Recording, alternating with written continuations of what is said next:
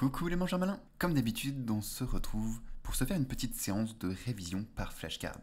N'hésitez surtout pas à faire pause de votre côté pour répondre avec moi au flashcard. Vous êtes chaud? C'est parti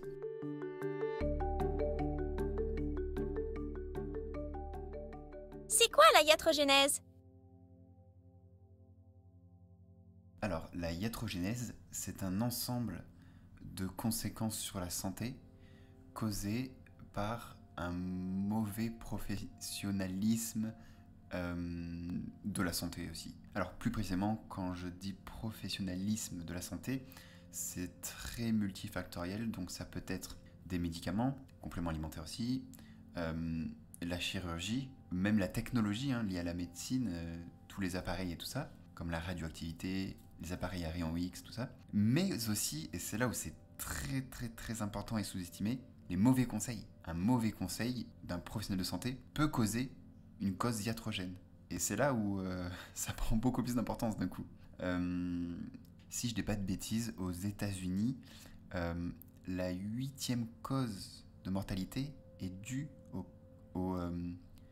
à la iatrogénèse. C'est quand même dingue. Et encore, je crois que je me trompe. Je crois qu'en fait, la huitième place, c'est le plomb. Et que les causes iatrogènes, je crois que c'est même quatrième place, quelque chose comme ça. C'est quelque chose de dingue pas normal du tout. C'est enfin une conséquence normale, mais trop fréquente. D'ailleurs, je sais plus où j'avais entendu ça. Euh, c'est hyper parlant. C'est que, écoutez bien, dans le milieu de l'aviation, il existe les boîtes noires pour que lorsqu'il y a un problème, les compagnies aériennes fassent tout leur possible pour que ça ne se reproduise pas. Car autant de décès par un crash d'avion ferait un scandale. Pourtant, dans le milieu médical, c'est ce qui arrive. Et il n'y a pas de boîte noire. Bref, revenons à la flashcard. Voilà, je disais, je disais tout à l'heure que des mauvais conseils peuvent engendrer des causes iatrogènes et ça c'est vraiment, vraiment, vraiment à ne pas prendre à la légère. Alors pour l'étymologie, iatrogène, donc euh, iatro ou iatros c'est médecin, gène, gênesse, euh, gène euh, donc euh, origine, une cause, une conséquence d'origine médicale dans la logique de l'étymologie. Je sais pas quoi dire d'autre là. Euh, je sais pas quoi dire d'autre. Donc passons à la vérification. C'est parti. C'est quoi la iatrogénèse? La iatrogénèse désigne les effets indésirables ou les dommages causés par un traitement médical, une intervention ou un conseil donné par un professionnel de santé. Ça inclut principalement les effets secondaires des médicaments, les complications chirurgicales et les erreurs de diagnostic. Au niveau de l'étymologie, iatros signifie médecin ou guérisseur qui est à la base de nombreux termes médicaux soulignant l'origine professionnelle de l'action ou de l'intervention. Genèse signifie origine ou création. Il est utilisé dans de nombreux contextes pour désigner le processus de formation ou de développement de quelque chose. La est un aspect important de la pratique médicale qui souligne la nécessité d'une approche équilibrée entre les bénéfices et les risques dans les traitements.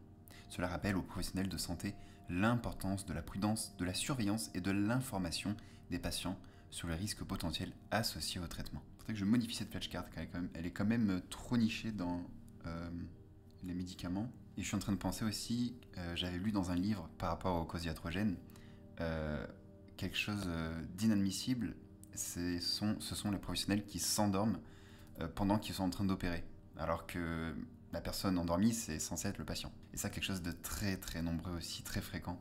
Et si je dis pas de bêtises aussi, il n'y a que l'Angleterre qui, qui n'a pas ou peu ce problème-là.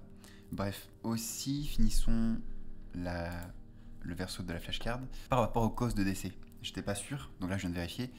Euh, sur Wikipédia en tout cas, euh, ça nous indique que aux États-Unis, la iatrogénie, les causes iatrogènes, médicamenteuses uniquement, constitue la cinquième cause de mortalité. Je sais pas si vous en rendez compte. La cinquième cause de mortalité aux États-Unis est les causes iatrogènes uniquement par les médicaments. Imaginez tout ce qui inclut le reste, c'est-à-dire euh, les mauvais conseils qui sont hyper fréquents, la chirurgie, etc. etc. C'est dingue. Bref, flashcard suivante. C'est quoi le coenzyme Q10 Alors alors, euh, le coenzyme Q10, euh, souvent appelé aussi CoQ10, est une molécule qui est, on va dire, aussi importante que les vitamines et minéraux, dans le sens où elles jouent un rôle très très très crucial. Et en fait, leur spécificité à elles, ou à la CoQ10, coenzyme Q10, c'est sa production d'énergie. maintenant que j'y pense, je me rends compte que je connais pas tant que ça le sujet, mais euh, on va essayer. Euh, comme les mitochondries, en fait, le coenzyme Q10 est présent dans chacune de nos cellules. Donc déjà, ça nous montre bien qu'il est indispensable. Et plus précisément, il y a du coenzyme Q10 dans chacune de nos mitochondries. Alors, si je dis pas de bêtises, c'est pas le, le coenzyme lui-même qui euh, produit l'ATP, mais qui fait partie euh, des composés cruciaux pour la production d'ATP.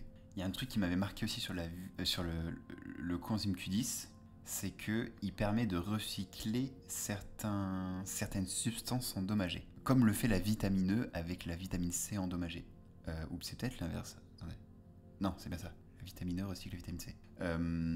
et ça, c'est hyper rare et, tellement fascinant. Et le coenzyme Q10 permet de faire ça aussi. Alors, j'ai pas les détails, on va voir ça dans la vérification si elle est sur la flashcard. En fait, elle joue un rôle d'antioxydant et j'ai un prof qui disait ça.